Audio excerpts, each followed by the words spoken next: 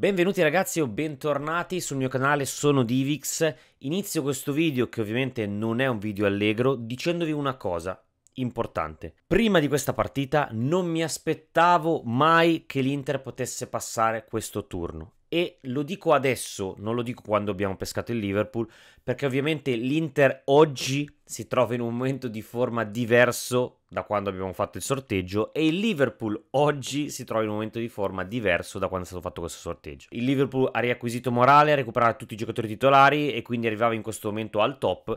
L'Inter invece al contrario arriva in questo momento nel peggior stato di forma della stagione. Per questo motivo ero abbastanza, diciamo, scettico. Mai però mi sarei aspettato di vedere giocare da parte dell'Inter una partita come quella di stasera. Una partita dove fino al settantesimo non c'è stato niente da dire a nessuno, veramente a nessuno. Eh, avrei potuto elogiare tutti a partire dalla difesa perché sono stati annullati praticamente Salah e Mané, anche se poi Salah ha segnato un tiro deviato. Alexander Arnold e Robertson sono stati annullati da Persic e Dumfries che hanno arato la fascia. Pertanto un'altra volta parliamo di grandi, grandissimi rimpianti da parte di questa squadra, rimpianti che poi ogni volta vengono riversati sull'attacco dell'Inter, perché tutti quanti continuamente continuiamo a dire che l'Inter è in questo stato di forma perché le punte non segnano tanti gol. Dall'altra parte, io vi dico la mia opinione, che è diversa da questa. Nel senso, sì, le punte non, se- non segnano tanti gol, però l'Inter quest'anno deve fare un mea culpa generale perché se andiamo a guardare gli scontri diretti, quest'anno l'Inter, gli scontri diretti ne ha vinto uno contro il Napoli. Basta, stop. Siamo a metà febbraio, abbiamo fatto anche un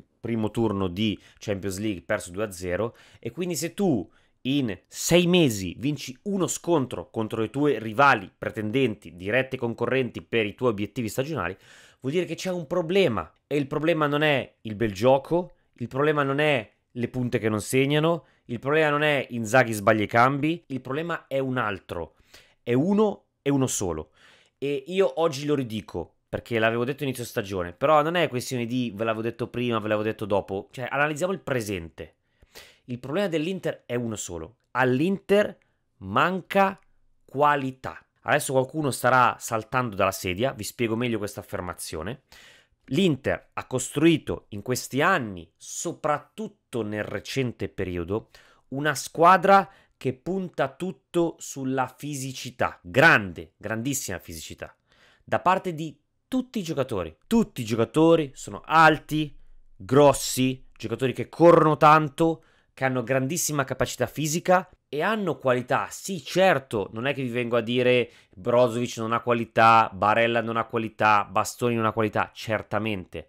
Ma quando io parlo di qualità, parlo di giocatori che in questi incontri, cioè negli scontri diretti contro le tue pretendenti, contro squadre di pari livello, facciano la differenza e cioè possano inventarsi una giocata vincente tale che ti possa far vincere la gara. Giocatori di questo tipo l'anno scorso ne avevamo tre in rosa.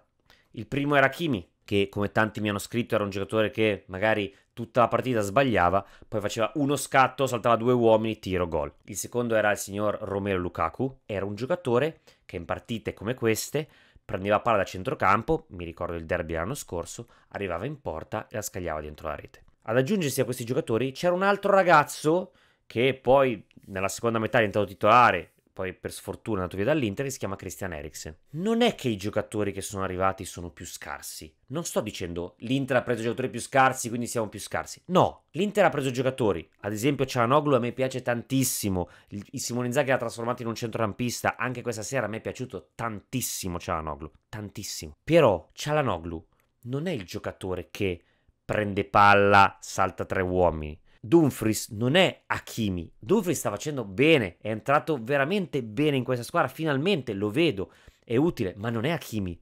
Non ti farà mai la differenza con Hakimi, non ti farà mai quelle giocate che spaccano le partite come fa Hakimi. Dzeko è un finalizzatore, è un grandissimo attaccante, ma non è Lukaku. Se guardiamo tutte le altre squadre, le big squadre in Europa, tutte le grandi squadre in Europa hanno in rosa giocatori fisici, giocatori di livello, giocatori di corsa, ma anche giocatori di grandissima qualità. E quando parlo di giocatori di grandissima qualità, intendo giocatori veramente in grado di farti la differenza con la palla tra i piedi.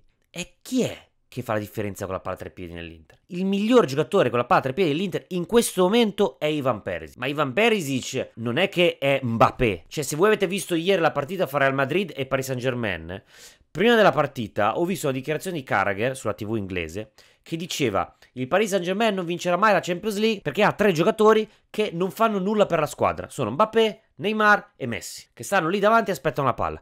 Sì, sì, d'accordo. Su questa affermazione sono d'accordo che sono tre giocatori che aspettano la palla. Però avete visto ieri la partita fra Paris Saint Germain e Real Madrid.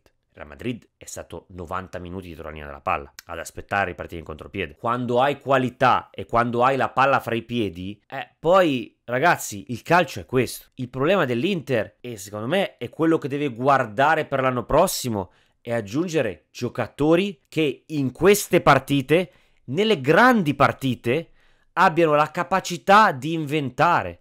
Perché poi Firmino si inventa un gol dal nulla, dal nulla, poi a Liverpool gli è andata bene stasera perché oggettivamente erano fuori forma Salah, fuori forma Mané, secondo me anche per merito dei nostri difensori, dico sinceramente. Ma Liverpool è pieno di qualità. Non, non possiamo pensare di competere a queste, a queste competizioni senza avere in rosa, in squadra, la qualità tale che ci permetta di vincere gli scontri diretti. Perché gli scontri diretti tra squadre di pari livello non si vincono giocando meglio non si, vincono, non si vincono avendo il maggior possesso palla, ma si vincono con i grandi giocatori. Purtroppo il calcio è così, ragazzi. Il calcio è così. È logico che se c'hai grandi giocatori, tutte le squadre, chi gioca meglio è più facile che la vinca. Io non mi sento di dare la colpa a Geco, a Lautaro, a Sanchez. L'Inter produce calcio, sì. L'Inter produce calcio. Poi gli altri, caso strano, però, ricordate la partita contro il Real Madrid, dal limite dell'area di rigore, tiro gol sotto l'incrocio. Tony Cross prende palla, tiro, gol all'angolino. Il campione è quello, quella è la qualità, quella è la differenza fra avere una squadra che sono tutti bravi, sono tutti coesi, giocano bene a calcio, ma poi devono arrivare davanti alla porta con la palla fra i piedi, ci devono arrivare 4, 5, 6, 7 volte per fare gol. Gli altri non devono arrivare davanti alla porta, gli basta che uno dei loro campioni prenda palla, fa una giocata, fa gol. Punto. Io mi sento di fare complimenti a questi ragazzi perché comunque secondo me hanno fatto una grandissima gara, ci hanno messo veramente tutti il massimo impegno e se fosse per me non dare l'insufficienza a nessuno, nessuno. Non parlo neanche dell'allenatore, dei cambi, non mi frega perché io questa sera comunque esco triste ma con un sorriso sulla bocca perché ho capito che abbiamo una squadra vera. Quello che mi spiace è che sicuramente a livello morale questa è una botta difficile, in un momento difficile, quindi l'Inter ha bisogno di rialzarsi in fretta e ha bisogno di tirare una boccata d'aria di prendere ossigeno, di ripartire, perché questa squadra secondo me ha tanto ancora da dare, ha tanto ancora da dare e questi ragazzi hanno tantissima, tantissima voglia.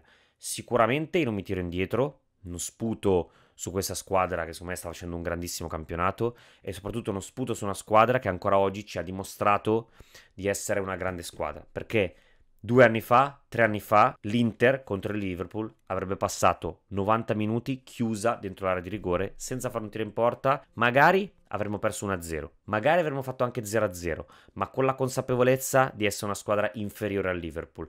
Io oggi questa consapevolezza non ce l'ho, sinceramente, non mi sento così tanto inferiore.